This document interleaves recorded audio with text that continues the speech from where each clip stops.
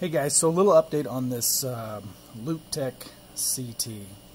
Uh, I know early on uh, we had some problems.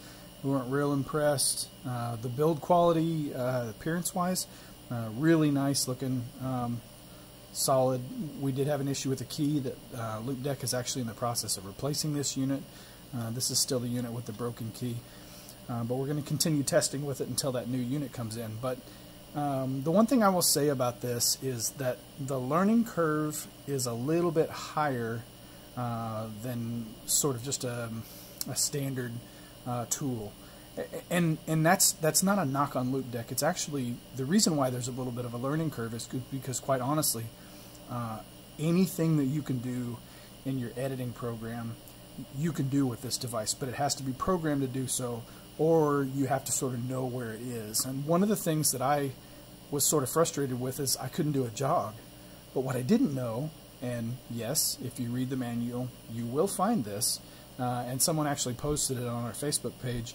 Um, this this display here is actually uh, a touch-sensitive display, um, and so you can swipe. And so when I swipe, I now get the option to jog either one frame or five frames. And this is very, very handy because uh, when you bring up a, a clip, uh, you can do a really quick five frame jog, so you're kind of advancing five frames along. And then when you want to refine it a little bit, now you're one frame along. So because I was then forced to read the manual, um, I then found several other things.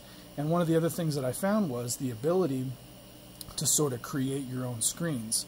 So these buttons, all of these buttons and, and dials, they do certain things.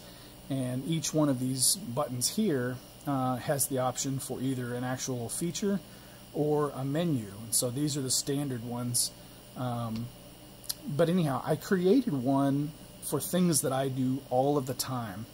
And, and I'm telling you, this right here, this is exactly why we bought this unit and it does what we want very well. Now we're going to create an actual tutorial that shows you how to do everything we're doing so you can see what's on the screen.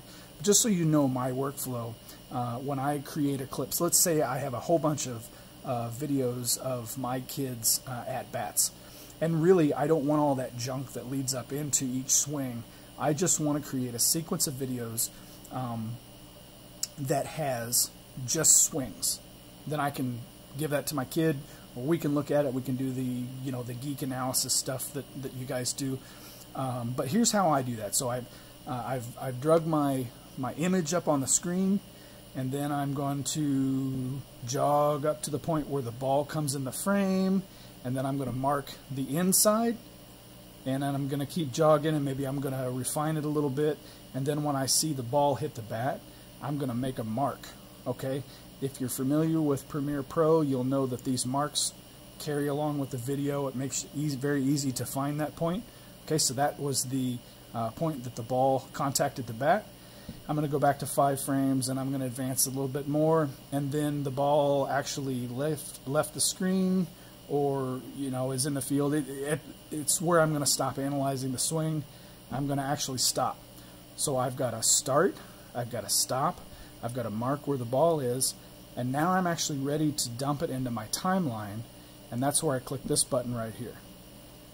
All right, um, very, very handy stuff. That's stuff that you can do with the mouse, but you're sort of moving all over the place. And, and guys that don't do a lot of video editing, they may not understand uh, that that saves you a tremendous amount of time. So again, we're going to continue to work on this and, and uh, develop a, an actual workflow uh, tutorial of what you can do with this. But guys, I'm telling you what, at this point, yes, this device is expensive. It does the stuff we were wanting it to do. Hey, if you have questions or things that you want us to try, shoot me an email at josh at lynkspyder.com. Check us out on our Facebook page or on our website, www.lynkspyder.com. Thanks a lot.